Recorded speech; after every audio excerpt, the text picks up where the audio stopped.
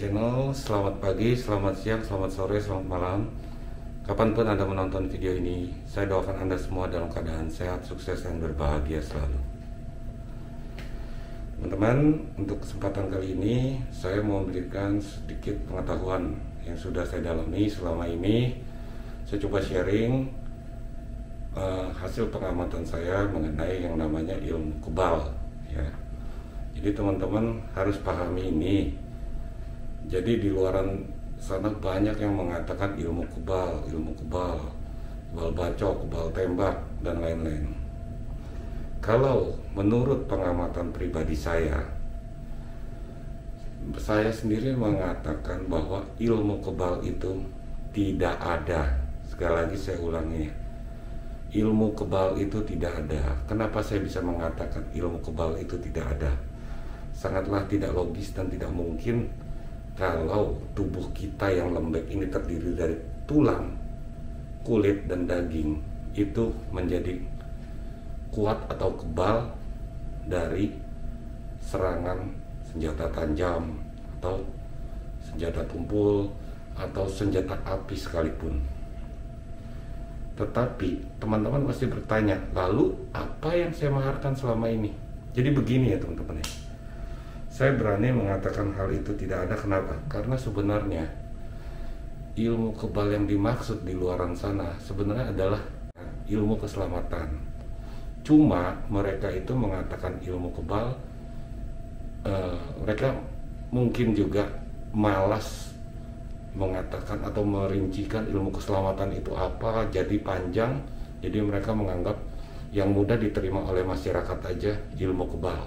Nah, itu seperti semacam pelurusan ya saat ini ya. Jadi uh, ilmu keselamatan dan ilmu kebal itu berbeda. Karena kalau ilmu kebal itu ibaratnya kitanya benar-benar kebal. Nah, pasti teman-teman kan bertanya lah, selama ini kan Mas Indra ini memaharkan benda-benda yang untuk kekebalan.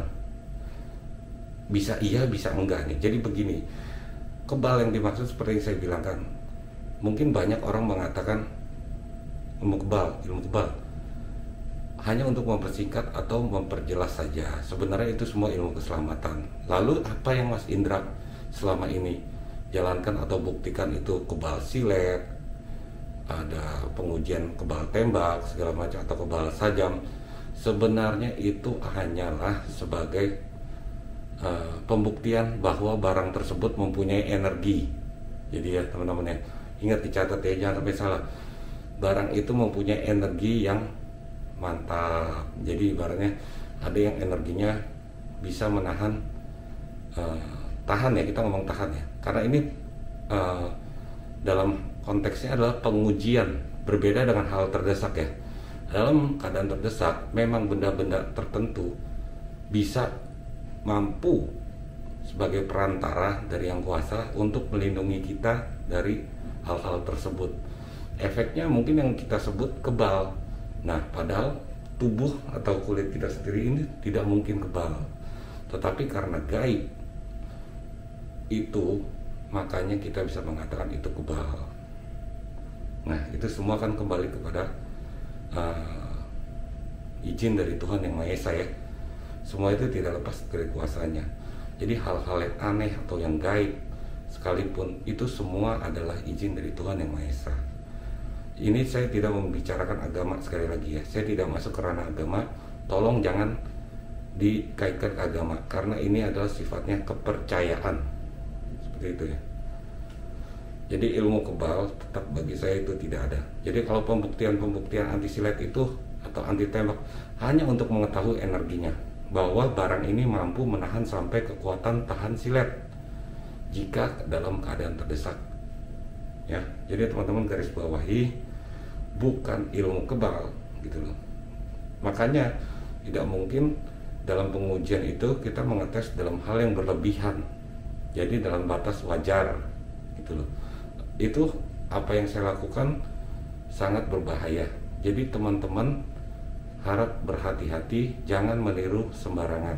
Asal meniru sembarangan itu akan berakibat fatal buat teman-teman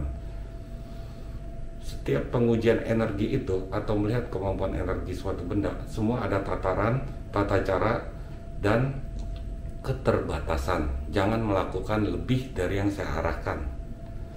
Jadi, walaupun apa yang saya lakukan itu adalah real, bukan rekayasa. Sekali lagi saya jelaskan, itu semua adalah real. Saya tidak pakai trik-trikan, saya tidak pakai akal-akalan untuk mengelabui Anda, untuk mengatakan bahwa barang ini berenergi dan lain sebagainya. Bukan seperti itu. Saya melakukan itu semua dengan real dan apa adanya. Semua lagi saya kembalikan kepada teman-teman semua mempercayai atau tidak itu terserah Anda kembali ke masing-masing. Jadi benda bertuah seperti ini adalah mencari jodohnya ya. Bukan saya jual, saya pasarkan untuk cari keuntungan semata. Jadi apa yang saya maharkan, ada dana yang saya sisihkan untuk saya berikan kepada anak yatim, tempat ibadah, orang membutuhkan, dan lain-lain. Jadi tidak murni saya kasarnya saya makan sendiri. Ibaratnya itu adalah hanya alih rawat ya teman-teman ya. Jadi ada adab atau suatu tata cara yang kita sebut alih rawat. Bukan untuk mencari keuntungan ya teman-teman. Kalau saya mencari keuntungan, mungkin saya bisa mengeluarkan barang-barang antik seperti itu miliaran triliunan ratusan juta tapi saya tidak seperti itu jadi ini adalah kembali ke ikhlasan saya untuk mengalihrawatkan jadi capeknya saya ongkos saya rawat itu semua anda menggantinya dengan anda yang mengalihrawatkan barang tersebut atau disebut mahar oke itu seputar pengetahuan dengan benda bertuah dan ilmu kebal. Jadi sebenarnya ilmu kebal itu tidak ada. Tidak ada manusia yang kebal, tidak ada manusia yang sakti. Yang sakti cuma Tuhan yang Maha Esa.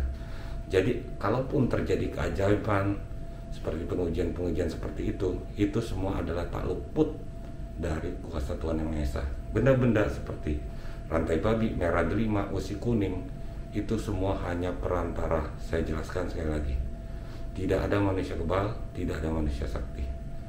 Semua itu atas izin Tuhan Yang Maha Esa. Semua kegaiban tersebut semua terjadi karena kehendaknya. Oke. Jadi kalau teman-teman masih tidak percaya dengan adanya yang gaib, saya rasa teman-teman salah besar. Memang gaib itu tidak dapat Anda lihat. Ingat sekali lagi. Gaib itu tidak mudah Anda lihat dengan mata kita tapi dapat kita buktikan dan kita rasakan. Ingat ya, perlu digarisbawahi. Gaib tidak terlihat oleh Anda, tapi dapat Anda buktikan, Anda rasakan. Sama halnya seperti angin. Anda tidak mungkin bisa melihat angin, tapi Anda bisa merasakan adanya angin tersebut. Kita semua butuh media atau perantara untuk mengetahui anginnya tersebut, yaitu tubuh kita. Contoh lagi, ibarat gelombang sinyal televisi.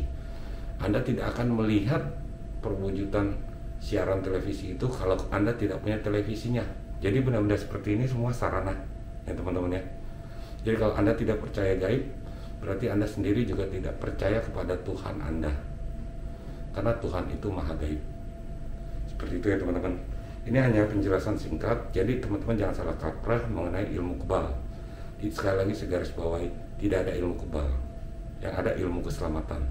Jadi pengujian-pengujian itu hanya untuk mengetahui kemampuan energinya aja sampai tahap-tahap level mana.